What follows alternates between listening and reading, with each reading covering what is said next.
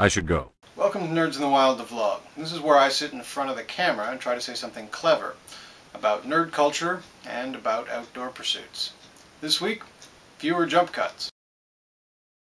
I'm going to be looking at uh, a word that appears in both the fantasy worlds of books and movies and video games and in the real life world of wilderness camping and extreme sports.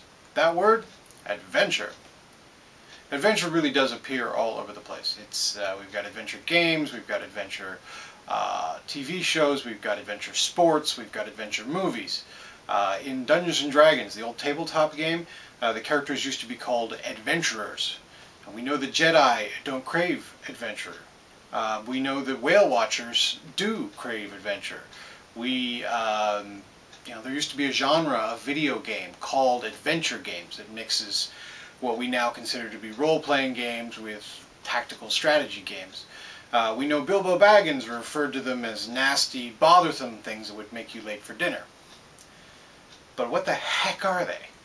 Well, let's start with what they're not. They're not quests. Quests are very goal-oriented. Go here, kill this, get that, bring it back, win the hand of a fair maiden. That's something a Jedi or a knight or a soldier would do, and, they're not adventurers. Well, maybe a knight, but Jedi definitely not adventurers. So that's not it. It's also something that you don't generally set out to have or to do. I mean, Bilbo Baggins is the exception. He was recruited to have an adventure specifically, but none of the rest of the dwarves were. Uh, and in general, it seems that an adventure is something that happens to someone, whether they want it to happen or not. Alice in Wonderland didn't set out to have an adventure. Joan Wilder didn't set out to have an adventure in Romancing the Stone. Han Solo didn't have one when he signed up to take a, an old man, a boy, and two droids to Alderaan. It just seemed to happen. So if you don't set out to have something, it's not something you do, and it's something that happens to you whether you want it to happen or not, that falls into the realm of an experience. An experience you could anticipate, in the case of Bilbo or the Whale Watchers, uh, or you could recognize during the fact, or even recognize after the fact. There also seems to be a state of mind involved, a way of looking at the experience.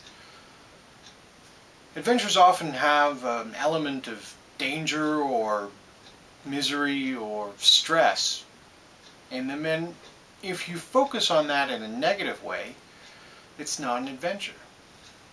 Well, adventures are, they're fun.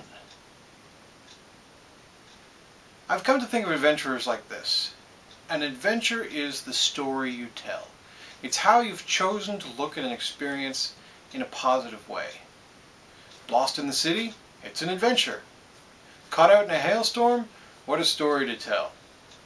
Your guide's shortcut led you to climb a cliff with a 40-pound pack and only a dubious rope to support you? Wait till they hear about this back home. And interestingly, you can choose to have make something an adventure long after you've had the experience. Now, you may have been miserable and despondent and grouchy at the time, and then when you're back home, safe and having a couple beers with your friend, choose to regale them with a story and look at it as an adventure.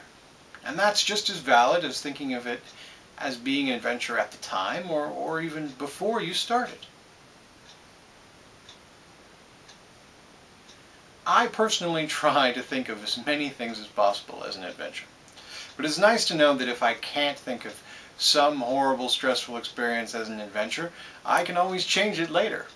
Or as one of my friends says as we climbed the 50th mud-slimed cliff of the day, you know, in about a month, this will have been an awesome day. I'll see you next week.